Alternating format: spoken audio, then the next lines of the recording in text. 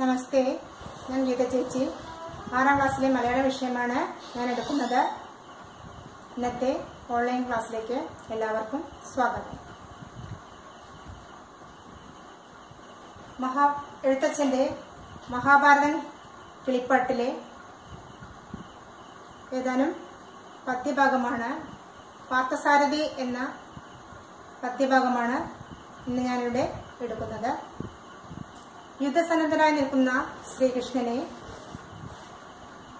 എഴുത്തച്ഛൻ തന്റെ വാക്കുകളിലൂടെ മനോഹരമായി വർണിക്കുന്ന ഭാഗമാണ് ഈ പാട ഈ പദ്യഭാഗം. ഞാൻ ഈ പദ്യഭാഗം ഒന്ന് ചൊല്ലാം. നിറന്ന പീലികൾ നിരക്കവേ കുത്തി നിറുകയിൽ കുട്ടി തിറമുടു കെട്ടി. കരിമുഖിലൊത്ത ചികൂരഭാരവും മണികൾ മിന്നിടും മണിക്കിരീടവും. പുനുപുനെ ചിന്നും കുറുനിര തന്മേൽ നനു നനെ പൊടിഞ്ഞൊരു പൊടി പറ്റി. ഞാൻ ഭാഗം വിവരി വിവരിക്കാം. ശ്രീകൃഷ്ണന്റെ കാർമുകിലൊത്ത മുടി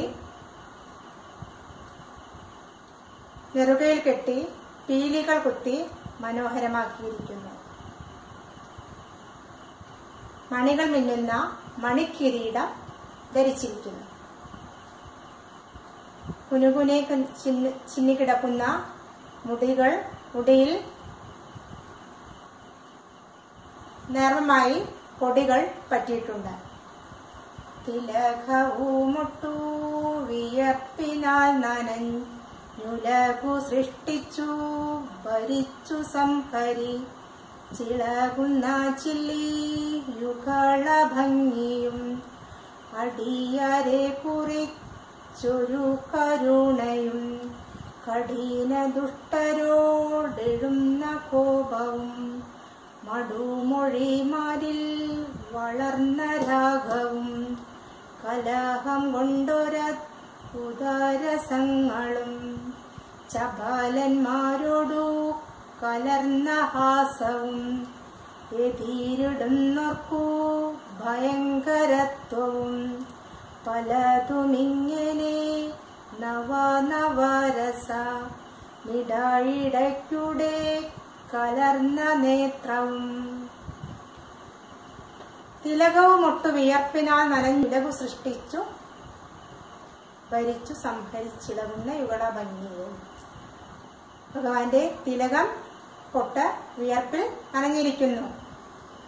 ഉലക ലോകം സൃഷ്ടിക്കുകയും അധർമ്മത്തെ സംഹരിക്കുകയും ധർമ്മത്തെ രക്ഷിക്കുകയും ചെയ്യുന്ന ഭഗവാന്റെ യുഗളഭംഗി ചില്ലി യുഗളഭംഗി പുരുകക്കൊടികൾ മനോഹരങ്ങളാണ്.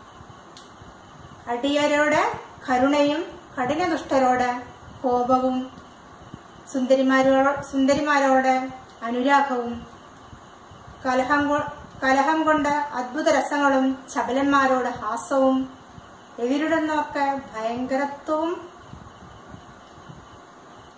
എന്നിങ്ങനെ പല പല ഭാവങ്ങൾ ഭഗവാന്റെ കണ്ണുകളിൽ മിന്നിത്തിളങ്ങി മിന്നിമാറുന്നു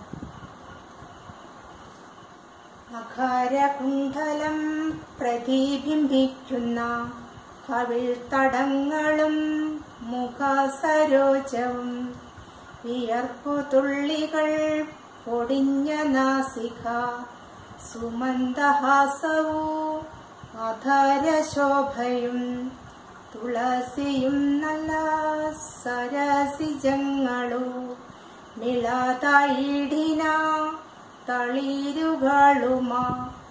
ഇട കലർന്നിട. ഇട കലർന്നു കലർ ഇട കലർന്നുട നിളകും മാലകൾ. തടയും മുത്തുമാലകളും കൗസ്തുഭ. മണിയും ചേരുന്ന ഗളവും ചമ്മട്ടി.